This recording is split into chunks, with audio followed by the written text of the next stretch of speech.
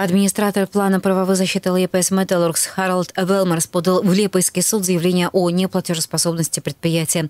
Суд должен рассмотреть заявление в течение 14 дней. Если ЛЕПС «Металлургс» будет признано неплатежеспособным, предприятие полностью перейдет под контроль администратора, который должен будет подготовить его к продаже в течение шести месяцев после постановления суда. Разумеется, говорит Велмерс, подготовка предприятия к продаже будет непростым процессом, и работникам работникам придется считаться с определенными сложностями, потому что в процессе неплатежеспособности будет тщательно взвешиваться, сколько рабочих может остаться на Алепес Металлургс до прихода инвестора, сказал он. По словам администратора, его цель заключается в том, чтобы найти покупателя, который хочет возобновить производство и развивать компанию. Председателем правления, художественным руководителем Латвийской национальной оперы избран композитор и бывший руководитель радио СОХ Зигмар Лепинш. На прошлой неделе завершился конкурс на место третьего члена правления театра. На эту должность претендовали шесть человек. Как заявила министр культуры Даца Мелборда, Лепинш был признан лучшим кандидатом на этот пост. Он показал себя как профессионал и хороший руководитель. Латвийская опера нуждается в по-настоящему национальных постановках, заявил в интервью Микс ТВ новоизбранный художественный руководитель оперы. Зигмар Лепин считает, что не имел права отказаться от этой должности. В этой кризисной ситуации, когда все отвернулись от оперы, мне пришла в голову цитата из божественной комедии Данте. В ней говорится, что в самую глубину чистилища попадают те, кто в момент морального кризиса решают умыть руки. И в связи с этим я решил, что как-то не могу остаться в стороне. Своей самой главной целью я считаю после столь длительного периода поставить во главу угла музыку, привлечь лучших исполнителей и составить репертуар так, чтобы его могла оценить не только элитарная часть общества, но и те, кто, возможно, не знаком со всеми тонкостями представителями современного оперного искусства. Кроме того, необходимо поставить акцент на латвийские постановки, которых сейчас совсем мало.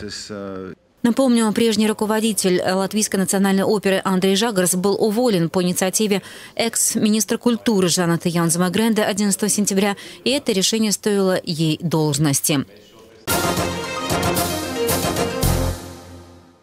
Министр обороны Артес Пабрикс по неофициальным данным выдвинут в качестве возможного кандидата единства в депутаты Европарламента. Сам Пабрикс пока воздерживается от комментариев по поводу того, готов ли он принять предложение своей партии. Тем не менее, по неофициальным данным, министр, скорее всего, войдет в предвыборный список, хотя тот еще не сформирован и не утвержден. 25 ноября правление единства может назвать лидера списка. По мнению наблюдателей, учитывая амбиции многих членов единства, внутри внутрипартийная борьба за выгодные места в списке обещает быть острой. Претенденты на депутатские кресла в Брюсселе в канун выборов активизировали свою деятельность и порой прибегают к неординарным пиар-компаниям. Так, на сервисе YouTube появилось видео, в котором депутат Европарламента от Латвии, представляющий единство Сандра Калнете, дует корову. По соседству от дома Калнете в Алсунге живет Ленете и ее корова Мирга. Этим летом соседка любезно разрешила евродепутата попрактиковаться в дойке. Наблюдатели тут же задались вопросом, искренне искренне ли это отношение между именитым политиком и пожилой хуторянкой или самореклама в канун евровыборов. Vai tu būsi mierīgs? Kas te būs, Mirga, ko? Nepako. Vai tu būsi mierīga? Vai tu būsi mierīga? Uh, rokas vairs netur. No sākuma mēs varētu šitik ieslaukt. Tagad jau es esmu, jā, es esmu drusku jau vairāk, nu nav man mājas, mājas tu dabūsi pēc tam. Представители нацобъединения «Весу Латвии» ТБ ДННЛ соблюдают коалиционный договор, поэтому на наступившей неделе не будут инициировать с премьер-министром переговоров об отзыве министра юстиции Яны Саборденса. Договор предусматривает, что об отзыве министра нужно предупреждать главу правительства за неделю. Нацобъединение будет ждать ответа Домбровскиса через неделю, но готово участвовать в переговорах, если их инициирует сам премьер. В бюро Домбровскиса заявление об отзыве Борденса получено в пятницу 1 ноября. Глава правительство не будет спешить и намерен действовать согласно договору, то есть примет решение в течение недели. Сам же Янис Борденс, отозванный из должности и исключенный из рядов э, Тевземон Бривибе ДННЛ за якобы раскольническую деятельность, считает, что его исключение связано с тем, что он задел интересы неких экономических группировок. Борденс, допуская, что кому-то могли не понравиться решение Минюста о строительстве новой тюрьмы, конкурс на пост председателя Рижского окружного суда или плана по обеспечению прозрачности администраторов неплатежеспособности. В связи с переходом на евро Латвии платежные карты менять не придется. С 1 января 2014 года они автоматически станут платежными картами в евро. Об этом в программе «Разворот» на радио Болтком сказал председатель правления банка Цитадела Гунтас Белявскис, рассказавший о том, что ждет клиентов банков после введения евро. Главное э, оценить, э, во-первых, эти огромные выгоды для клиентов в связи с введением евро. А, во-первых, это отсутствие конвертации ваших средств из э, латов в евро. А, большинство из нас получают свои доходы в латах, потом или чтобы эм, производить свои оплаты кредита, которые в большинстве случаев евро, или для путешествий по Европе мы часто конвертируем. Это для нас отпадает, это огромные расходы за год. Во-вторых, э, для предпринимателей и для частных лиц тоже платежи в евровалюте. В еврозоне будет стоить 36 э, евроцентов да, а в любую страну Европы. Это тоже огромный плюс, э, особенно для предприятий. Сейчас сколько стоит?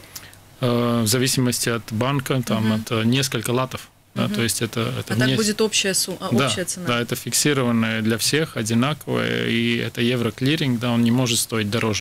Банкир отметил, что банк полностью готов к переходу на евро и уже сейчас может обеспечить клиентов евро-банкнотами. Государственная пожарно-спасательная служба опубликовала видео с учения около реки Ича, где видно, что пена раздувается возле пожарной машины, но не в реку. ГПС считает, что пенная концентрация не могла попасть в реку, так как пены покрывали лишь площадь возле машины, а не спускали ее в воду. Служба надеется, что ответственные органы рассмотрят все обстоятельства и выяснят истинную причину загрязнения реки, в которой произошел массовый замор рыбы. В то же время один из участников участников учения заявил в интервью ЛТВ, что после учения пожарные в реке Ича полоскали баллоны с пенным концентратом. Очевидец добавил, что готов дать показания и следователям о том, что пену намеренно вылили в реку. Напомню, тесты в Латвийском институте гидроэкологии показали высокую токсичность вещества, используемого на учениях ГПСС. Расследование продолжается. Чтобы побудить жителей Латвии позаботиться о государственном красно-бело-красном символе, уже вторую осень подряд в канун Дня Лач Плисесей в преддверии празднования 18 ноября в стеклянном пассаже торгового центра галереи «Центрс» открылся пункт чистых флагов «Электролюкс». С 4 по 8 ноября любой желающий приглашается принести свой флаг Латвии, где он будет отстиран, вычищен, выглажен. За услугу платить не придется.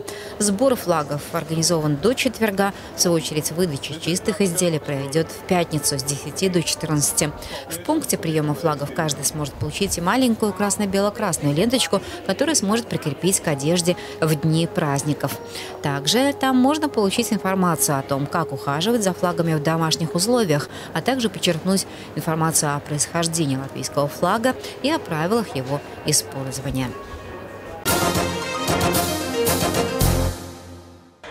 Субботу 2 ноября в столице завершилась 19-я Рижская неделя моды, на которой свои коллекции весны-лета 2014 года представили 20 дизайнеров. Заключительные дни модного праздника традиционно собрали больше всего публики, посмотревшей очень разные по стилю и настроению показа. Специализирующийся на изысканном белье бренд Амарали продемонстрировал наряды, смело стирающие грани между вечерними платьями и пеньюарами. Модельер Наталья Янсона представила коллекция Ибица созданную из натуральных итальянских тканей шелка и хлопка. Дизайнеры бренда Нола вдохновились переплетением культур стран Ближнего Востока и показали коллекцию «Затерянные в песках», а бренд «Нарцисс» продемонстрировал коллекцию «Дюймовочка», одновременно женственную и игривую. Поразил публику молодой дизайнер Янис Шне, представивший вечерние платья, отделанные пластиком. Модели на показе Яниса дефилировали в туфлях в стиле Леди Гаги, и проход по подиуму потребовал от них немало мужества. Латвийский модельер Ирина Складнова представила нежную и романтичную коллекцию под названием «Лолита», а эстонский бренд Пох Ян Хеймо заслужил аплодисменты публики за безупречно скроенную одежду в сдержанном скандинавском стиле. Перед заключительным показом Микс ТВ попросила генерального продюсера недели Елена Страхову подвести итоги модного праздника. У нас было самое большое количество латвийских дизайнеров, процентуально, если мы смотрим, и самое маленькое количество э, зарубежных дизайнеров. Достаточно много а, отвели в программе места для э, дебютантов и молодых начинающих дизайнеров, дав им таким образом шанс э, себя проявить. В любом случае мы как организаторы остались довольны. И я считаю, что праздник состоялся. А завершил 19-й Рижскую неделю моды показ «Перформанс» с загадочным названием «Эпизод 3. Мужчина в луже» от латвийского дуэта дизайнеров Мариан Роулс.